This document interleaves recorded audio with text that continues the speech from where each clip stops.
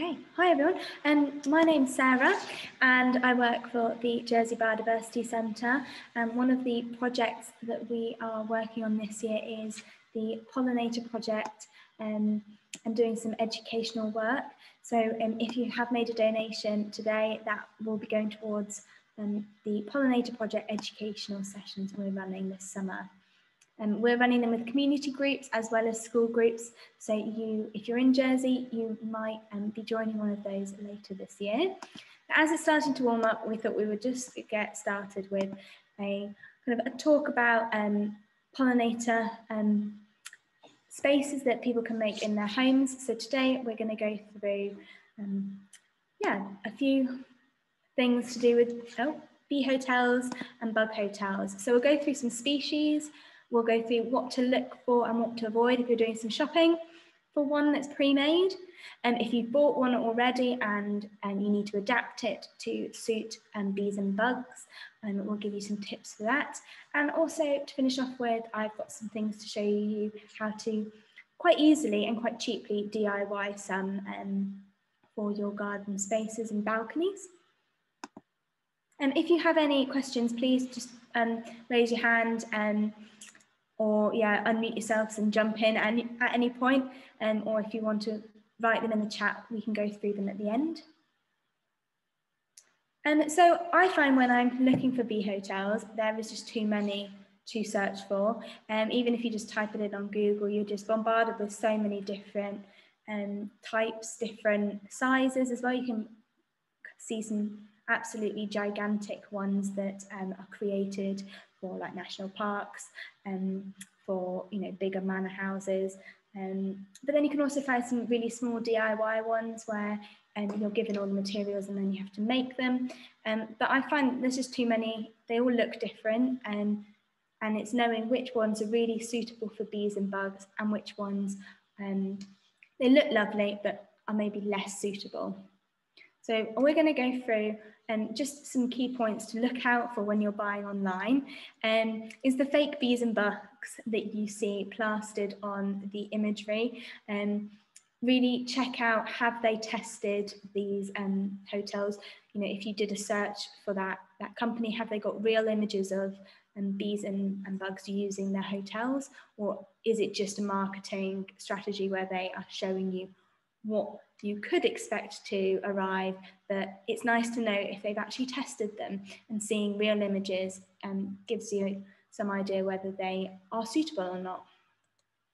Check out in the text. So I find when um, searching on Amazon, you can really um, check out the, the larger text, not the text that's just the name, but further down you can look at text for more information. Spelling mistakes, a typical one is spelling bumblebees wrong and, and butterflies. If those spelling mistakes are, um, are there, you might want to think twice about buying that um, bee hotel. You know, are these um, this company really a credit, creditable source for, you know, making them if they can't spell bumblebee or butterfly? And um, where is it shipped from? And this comes into play if you're getting wildflowers, because wildflowers from um, America are not going to be wild in the UK. So do check out if you want to buy a bee and bug hotel that comes with wildflowers, you're probably going to want to buy one locally made that's made in the UK. So when you're planting those wildflowers, they, um, you know, they are from um, UK um, species.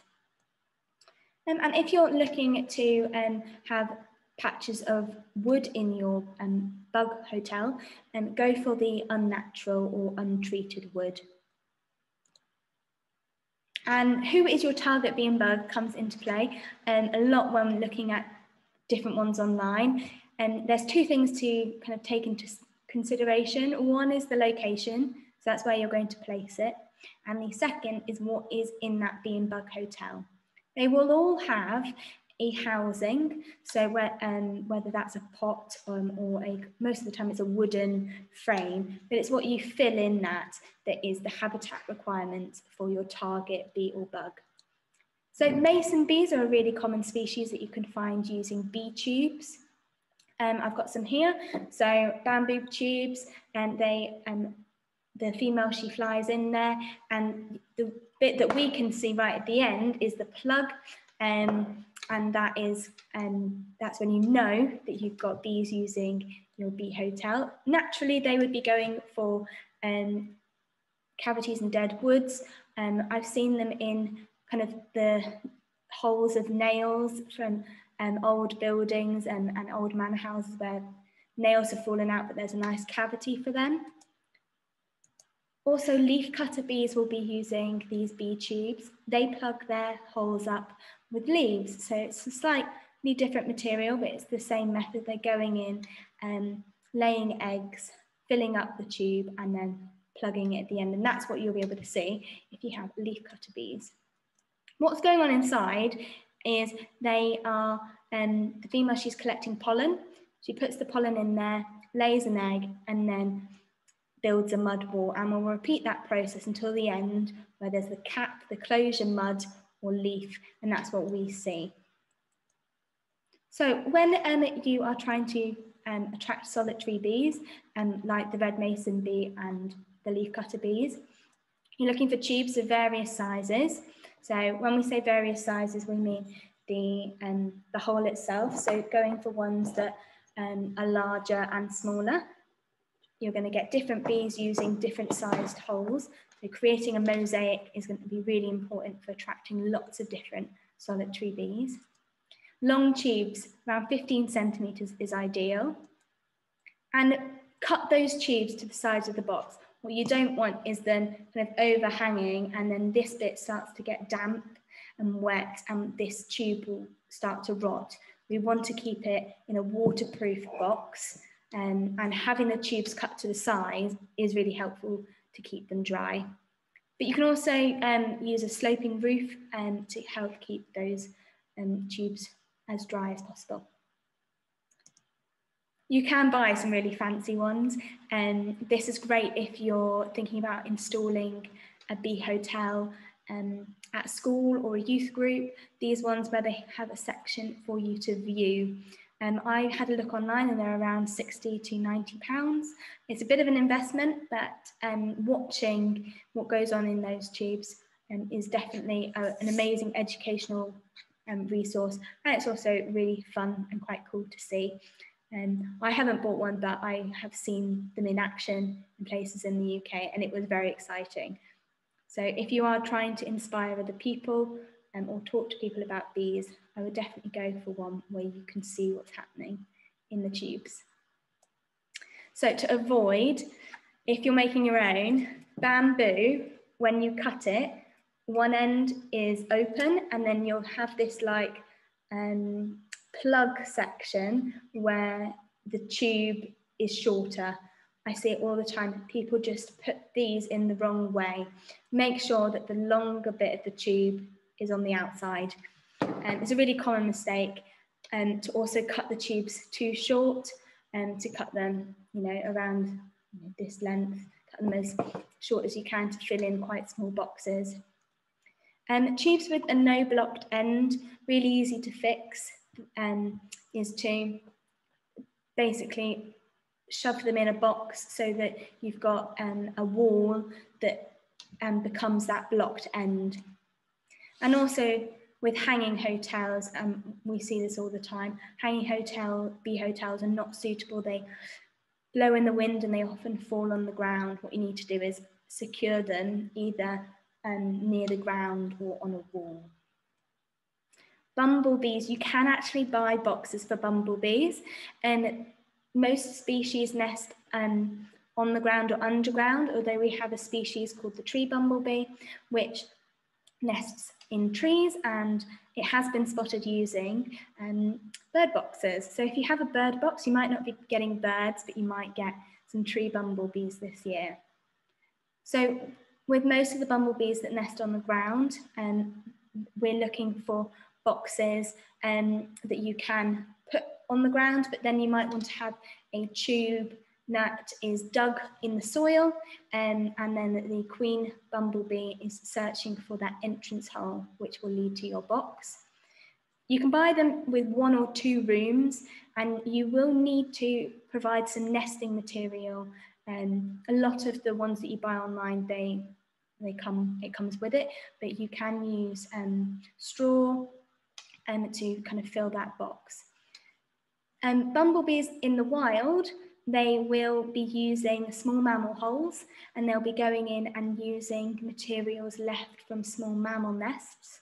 So um, if you've got lots of small mammals in banks, um, check it out because you might have bumblebees there as well.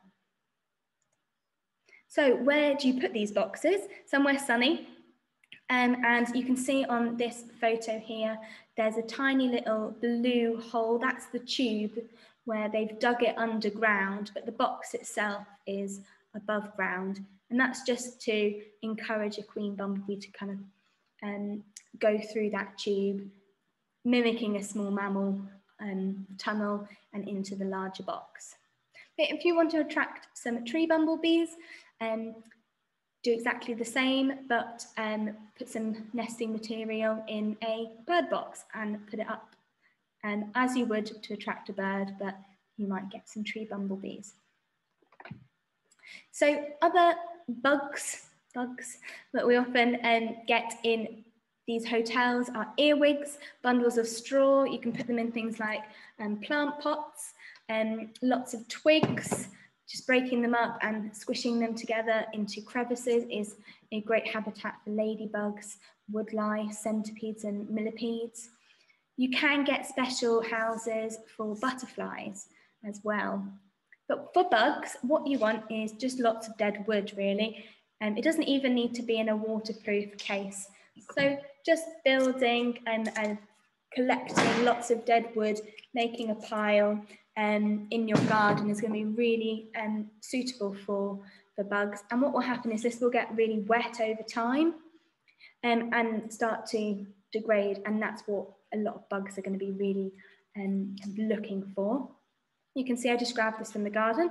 We've got some tiny um, holes there from some beetles. So it doesn't take long for um, the bugs to arrive um, if you're using dead wood. If you've bought one and it's got this mesh over some dead wood, just kind of peel that away and refill it when you need to. Um, and you can fill it with dead wood that you can collect around your garden or um, you can put pine cones in there as well. Now, butterflies do use um, kind of these bug bee hotels, um, but only some. The species that overwinter as adults um, are the ones that need somewhere to live during the colder months. So red admiral, peacock, small tortoiseshell and comma are all species that overwinter as adults. I've got a photo here of one hibernating, but you can also buy these hotels where there's slits and um, small crevices and create these narrow spaces for butterflies. During the summer, they're not very um, well used by by butterflies. They'll be sleeping in bushy plants, but when it comes to winter, that's when um, they'll be looking for somewhere to hibernate for those species. Adapting what, you what you've bought is really easy. If you are able to do a bit of DIY, like hammering in a nail, attaching a bracket like this one here, and you know, don't go out, you don't need to go out and buy a new one essentially, you can just make some small changes. So if you bought a hanging one, you can attach a bracket that you could, um, kind of like a drain pipe bra bracket that you can get from any DIY shop, um, and then secure that onto a fence um, so that it is um, stable so that the, the tubes are not going to be jiggling around. Another handy fix is if you've got one that um, hangs and you've got a space to just hammer a nail into the fence, or if you're able to, um, if you don't have a fence, you could you know, hammer it onto a stake and then just hammer the stake into the ground. If you've bought one that doesn't have a back to it, so when you look through the tubes, you can just see the light of day, um, you could just cut a, a little piece of wood and nail that to, to the back of your, um, your bought bee hotel, um, and that will provide the back for your tubes, like with our bamboo tubes this bit here. If you haven't got that, just nail some um, material, some wood on to create that. There's loads of DIY inspiration. So I hope those helpful tips um, yeah, we'll give you some ideas of how you can change ones you've got. But there are some ways you can DIY, and I think DIY is, is the most fun. So you'll need something waterproof for the bees, and you'll need some bamboo tubes. Um, you can buy these in like really long strips at garden centres, and then just use some secateurs to chop them up. Um, and then pop these in um, with the hole and the long bit facing outside. Um, use a mixture of materials, so don't make one with just loads of bee tubes. Mix it up um, with some twigs, some straw. Um, you can use broken pottery and kind of create um, some spaces for spiders to live in as well. And you'll need to make sure it's secured. So if you are doing it in um, something that needs to be nailed, once you've got all that material in, you will find it gets a bit heavy. So um, you might need somebody to help you when you're nailing it um, up on a, fence post or um, you can just pop them on the ground if you are doing one specific for bugs and it doesn't need to be high up. So yeah, this is one that's been made with bricks, lots of collected wood. They've also drilled some holes into in the wood for the bees. Some quick don'ts. Um, don't leave the tubes to rot, they need to be dry. Don't use any um, plastic in your bee hotels. Um, it's quite frankly just littering if you leave it there and over a really long period of time. I see also that people like to mix it up and put some household appliances. Um, we've got a toaster in the picture um, there and also a mouse cable. Those things are not going to be used by bees or bugs. But behind the mouse, there's loads of lovely wood.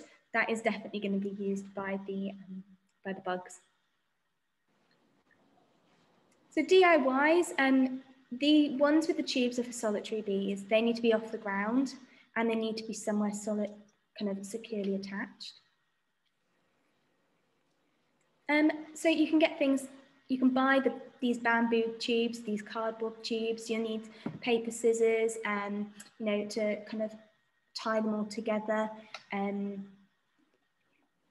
most of this you can get at garden centres, but um, yeah, the bee tube, these kind of bamboo tubes are fab, really easy to cut as well. Bumblebee nests, you um, bumblebee conservation, I've got this fab little DIY using a flower pot, slate tray, some hose pipe and nesting material to create a bee hotel. So the hose pipe is the entrance way that mimics the small mammals, and that's dug underground. There's nesting material in an upside down flower pot.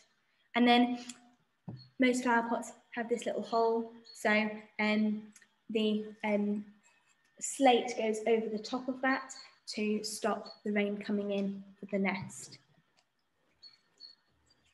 So your positions, where you're going to put your five-star hotel, they need to be somewhere sunny, somewhere sheltered. For bumblebees, that tube needs to be underground and, and the box needs to be on the ground. For mason bees, you're looking at around 30 centimetres off the ground. And for leafcutter and tree bumblebees, you're looking a little bit higher at one metre plus. If you're looking um, just to attract um, lots of invertebrates, which will be fantastic food for um, other animals like toads um, and birds, you know, your wood can just go straight on the ground and that will be a perfect habitat for those lots of bugs. Um, for more information about how to make your gardens wildlife friendly, I recommend you visit the Pollinator Project, um, where we're putting lots of helpful guides um, and advice about um, things to do in, in your home, in your garden or at school. So please pop along there um, for more information and to get involved. And we'd love to hear and see what you get up to um, in your wild spaces this summer. Thank you very much for listening. Does anyone have any questions?